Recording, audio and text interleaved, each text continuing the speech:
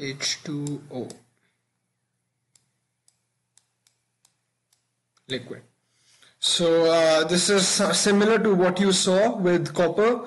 Uh, first, we in in that case we had a blue pale blue solution initially. Then we added sodium hydroxide and we got a blue precipitate, a pale blue precipitate. In this case as well, we get a blue uh, precipitate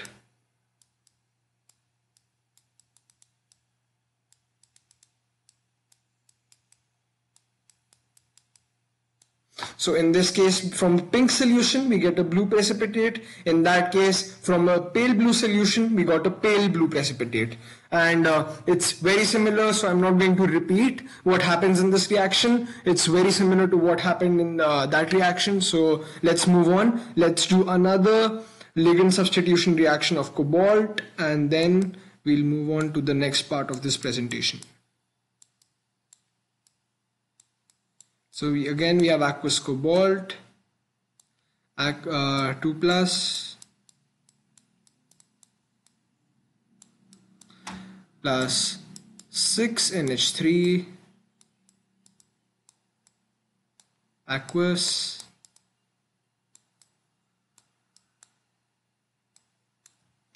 giving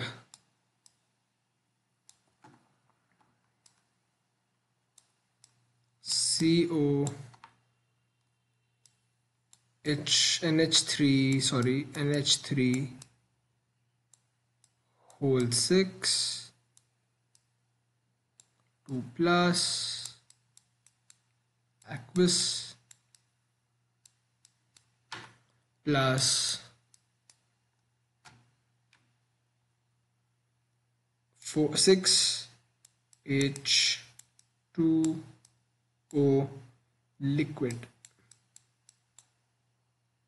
So again, um, not going into the color this time because uh, we don't need to know the color for this reaction. We need to know the color for the other reactions. So I've told you and I've uh, mentioned them again later in this presentation. So you don't have to worry about that.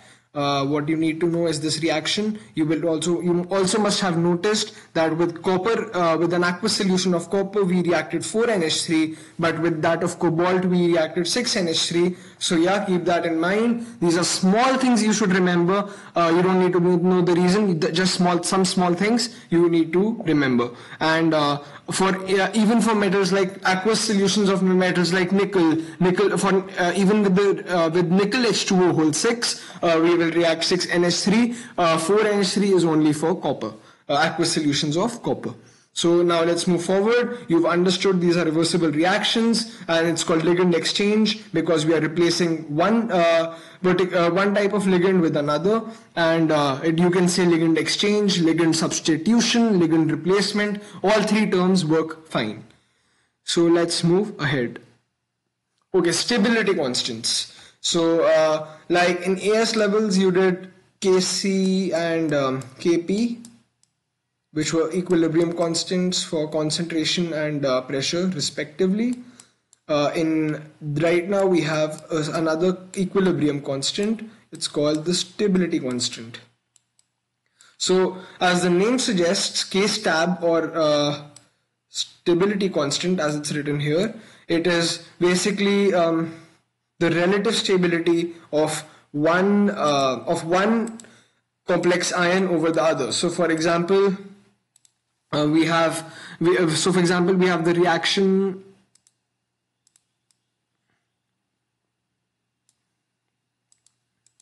let's go to the most basic reaction that we did uh, Cu H2O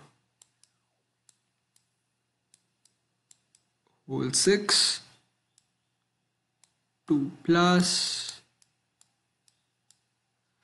aqueous plus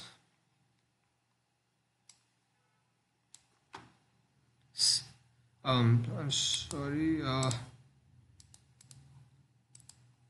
plus 4 Cl negative aqueous gives